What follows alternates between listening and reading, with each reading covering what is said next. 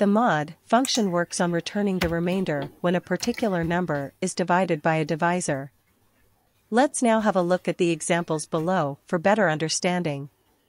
In the first example, we have divided 19 by 3. The remainder is calculated using the function equals mod a2, 3.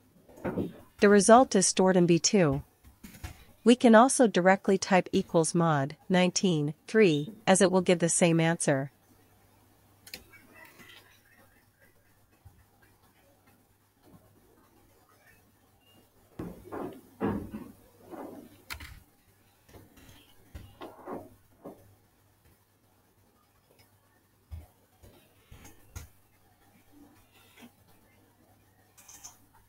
Similarly, here, we have divided 27 by 4. The remainder is 3 is, which is stored in B4.